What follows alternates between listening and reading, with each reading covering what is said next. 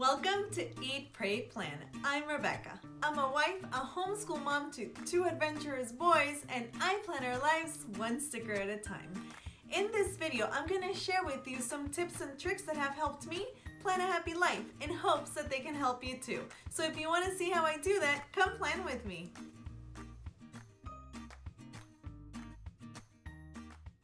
I am so happy that you're here and that you're watching this video. This video has been uh, requested by a few of you via my DMs because I have gotten a few questions regarding why I switched from uh, discs to a ring planner system. So I thought that I would just walk you through uh, my process and why uh, I decided to make the switch. So uh, first, the main reason I think that uh, brought me to discovering how amazing the ring system is is quarantine, really, if I'm being totally honest, because I have been spending way too much time on Instagram and just scrolling. So I stumbled upon uh, a few accounts of uh, people in the planner community who uh, use the hashtag minimal planning. So once I clicked that uh, hashtag, I was done. I went down the rabbit hole. I started following people, and I was just really inspired by the minimal planner community. So that is the number one reason, really, why I decided to try out rings. And um, and it was just, you know, um, I had a lot of free time on social media. So if you are new to my channel, you probably don't know, but I have been using a uh, a disc planner system for a few years. So I've been using the Happy Planner, and my main planner used to be uh, the classic size Happy Planner, which is um, which is a similar size to what an A5 would be in rings. So this is, you know, this was my planner and I loved it. I loved decorating. I loved um, the layout of this of this planner. This is a happy planner and the layout is called a dashboard layout. So I really had no no complaints. I was really happy with it. But then, like I mentioned before, I discovered I discovered rings and I discovered leather covers. So leather neutral covers and I fell in love. So um so then what I decided to do, I decided to just take a break from my happy planner, my classic happy planner, and then I started using my mini. So my mini happy planner, I um I um I also used a dashboard layout, but I I changed a few things from how it originally comes set up um, from the Happy Planner. So I switched out the covers. I added a few different dividers. So um, I made it a little bit more my style and more neutral. And uh, I purchased this cover. So I purchased, actually, I purchased an A5 uh, Stalogy cover by Moterm. So this was my first kind of like introduction to the leather cover world. And I fell in love with the quality of a Moterm cover. I loved the colors and just it's such a beautiful, soft, and um, uh, I love the pockets. So the just the configuration of the whole planner worked really well for me. So I, you know, I stayed in my mini. As you can see, I did, you know, I planned my weeks in my mini and I, again, I was really happy. I had no complaints. But the more that I followed the hashtag and I started following some really inspiring people within the minimal planner community. Uh, just to mention a few because there's a lot of people out there. So if you search the hashtag minimal planning, uh, minimal planner community, functional planning, uh, you will find some really inspiring accounts. But a few of the people that I started following uh, were I already followed April Mom Run Craft because she was also uh, years ago using a happy planner. So that's how I initially discovered her. But then I discovered Arenthea's account, Planning Happiness, Arel's account, Arlie Plans, uh, Anna's account, Minimalistress, Rana's account, Rana Plans. So just to name a few, I started following them. And what I loved was that they shared really awesome functional tips. So, you know, I just decided, okay, let me give it a shot. So I put my mini aside, but uh, I did make a mistake, a mistake at the beginning. So what I did is I got really excited and I ordered my first purchase for a ring planner was actually a stone Filofax planner. So it was the same exact planner as this one in a personal size, but it was in the color stone, which is this color.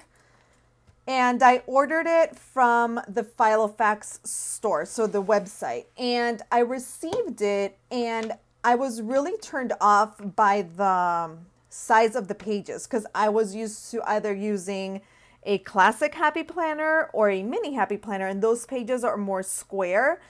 Uh, whereas the personal size planner pages are more of a rectangular planner page. So I was a little bit turned off and I'm like, okay, maybe, you know, maybe it's not for me. So I returned it. I returned the stone of this size, but then I kept seeing all these people sharing their amazing planners and uh, the different layouts. And I'm like, okay, let's give it another shot. So then I decided to go on Amazon. And Amazon is great because you get things really quickly and you can return. So if you have Prime, you get free uh, shipping and free returns. So I decided to purchase uh, this pocket size planner. Now, the pocket size planner is way smaller than the ring size, than the personal size planner. But the pages for a pocket are uh, square. So this is currently, let me jump ahead. So this is currently my pocket. And as you can see, the pages are square. So I did purchase the, um, the original uh, pocket size Filofax in black.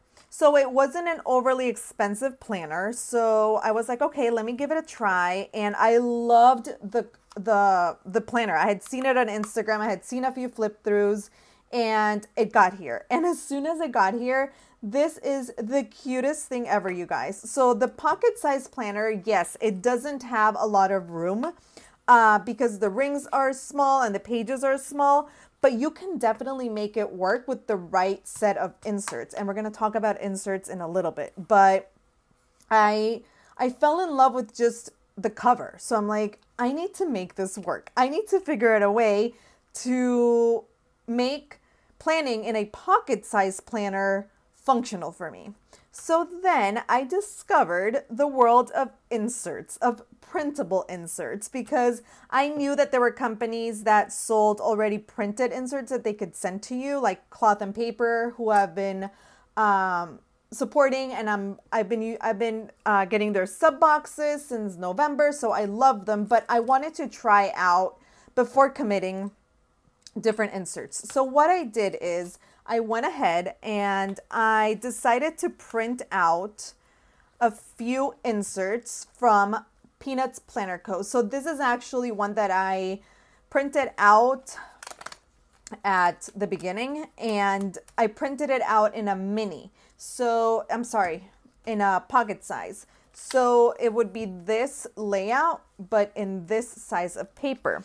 So there were a few things that I needed in order to make sure that this new planning system that I was venturing in was going to work for me.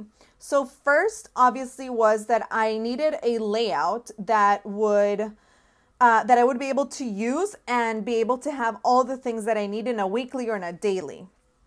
And then I also needed to make sure that I could decorate the pages because as much as I love, you know, just pen and paper, I need to add a few stickers. So if I wasn't able to decorate and add stickers to the size of the pages, it wasn't going to work out for me. So I printed out a few uh, inserts from Peanuts Planner Co. in pocket size and I tried them out. So I tried out uh, the pocket size planner for, I would say maybe like a month, and I really loved it. So I'm like, okay, so if I can make this size of planner work, I can definitely try again with the personal, which is this planner. And the reason why I wanted to try a personal is because obviously you can see there's a huge difference in size. And um, and I wanted to make sure that as cute as this size is, I wanted to have a planner that could house everything that my classic happy planner uh, had in it because I kind of have figured out my system. So I just needed to uh, kind of transition everything and make it work in a personal size. So, um, so then I decided to purchase. I told you guys that I went down the rabbit hole very, very quickly. So it quickly escalated from, you know, one planner or trying to switch sizes to having many planners. But, you know, it is what it is. So then um, I purchased this one, and this is also a Filofax. And I love Filofax because it is great quality and the price point is not outrageous. So you can definitely get, you know, a budget friendly Filofax if you're trying out a new size because there are beautiful planners out there in the ring system. Like, you know, there's Louis Vuitton, obviously, then there's Gillio, VDS, and there's some other uh, Filofaxes that are a little bit pricier and um, my unicorn Filofax right now, it is the croc in ebony. So it is a black planner uh, in croc and it's beautiful. So that's my unicorn. But I just, um, I couldn't obviously splurge because I wasn't sure. So I bought this one and I used this one and I loved the size. So again, I also printed out a few uh, printables from different companies. And just to name a few that I use and love. So Peanuts Planner Co. I think has to be my favorite shop because I have here a few of the inserts that I have found on her shop. So these are uh, responsibility logs and um, this is for the A5. So it's a bigger size. Then this is the dailies that I use. So then I will make a video on uh, different tips that I have if you are new to rings and things that I have learned being new to this whole planning system. And one of them is how to cut your inserts. So hang tight because that video should come, if not next week, and the following. So I printed out a few different inserts from uh, Peanuts Planner Co. I got a few also from 8 Lotus, which is another, or Infinite Lotus. So, which is another company that I like that has printables, and then Simple and Trendy Co., which are these. All these shops, uh, you can find them on Etsy or they have their own website, but I will be sure to link um, everything that I've talked about in the description box below so you can check them out if you're interested. So I decided to invest in print in printable inserts. And also I um, I went ahead and I went on Pinterest and I decided to just look for some um, some cute images that I can use as covers, as dashboards. So again, I didn't want to spend money on a system that I was trying out, but I wanted to make sure that I made it my own and that I gave it my personal touch. So I found a few images from uh, Pinterest and I printed them out in my regular printer. So I don't have any fancy printer. It's just a regular printer. And I've, I've been able to also print vellum. So, um, so then that way I can layer. So I was having, I, I was having a lot of fun being creative with uh, just setting up the new planners. So, so then I just uh, needed to kind of like uh, figure out how I was going to use these new planners and um, how I was going to make them work because the another thing that actually was huge in making me take the plunge and just know that I could definitely make a ring planner work was the fact that I did not have to um, I didn't have to open the the the rings every single time that I that I needed to write on one of my on one of my pages because since one of the things that I loved about disc system is that you could just take the pages in and out. So I discovered uh, through someone in the minimal planner community that you can you can cut little slits and then you can just uh, put your pages in and take them out from your ring planner too without without opening the disc the um, the rings. Because if you do open the rings a lot it can gap. So then that was kind of like the last thing and i'm like okay i can commit to i can commit to this to this new planning system. And um, and then i went ahead and i purchased uh, a moterm personal cover because i had already seen how amazing the quality was. And I do like to switch out my covers and uh, for a few reasons because, you know, I just like to have different options. I also don't like to, uh, I don't like them to get ruined with a ton of wear. So um, I just switch them out, you know, every month or so. So then I purchased this personal Moterm in light uh, gray, which is the one that I am currently using and I am in love. And, you know, I am really happy. I'm really happy with my new planning system. And I, I'm going to be sharing a little bit more. I'll be I'll be sure to share. I already showed a flip through of this one. I have, I'm also using a pocket. So what's the difference? So let's talk about the sizes. Uh, what's the difference in my system between this one and this one? So this one I use, um, I, I use in my purse. I've used it twice, the two times that I've gone out in my purse, and I love it because it's small. I can use it as a wallet also because it has the pocket but I mainly have them set up exactly the same. So here, the the tabs are the same. I just have a little bit more on this planner because it gives me room for more. And just the the basic things like the necessities, the things that I really need to have handy when I'm out. So I'm able to juggle between these two sizes without a problem. And I love both of these planners. So, you know, it was a no-brainer. I've always been a, a, a multiple planner uh, user, so I have no problem. My brain works well with multiple planners. I can't do a ton, but I can definitely juggle two or three planners. And then um, the last planner, definitely not the least, that I'm gonna be using in my ring planner system is an A5 Filofax because I did fall in love with the color. So I loved the color of the of the Filofax, the first one that I received, and uh, I needed a homeschool planner. So I am using this one as my homeschool planner. It's still in the works. I am not done setting it up, uh, but as soon as I'm done, you know that there will be a video for that. So I think that I've touched upon all the reasons or like kind of like the transition and just the steps and stuff uh, that led me to this from from uh, a disc planner to now having several of different sizes. There's definitely uh, more sizes. There's you know there's B6 sizes. So I you know it this is these are just the the three sizes that work for me.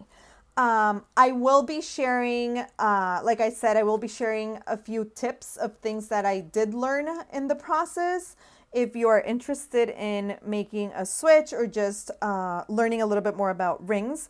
But yeah, I mean, I'm having a lot of fun. And again, planning, uh, for me, it's fun. Um, obviously, it helps me get things done. but it is definitely something that makes me happy. And having different planners and just experimenting with different things makes me happy and keeps me busy.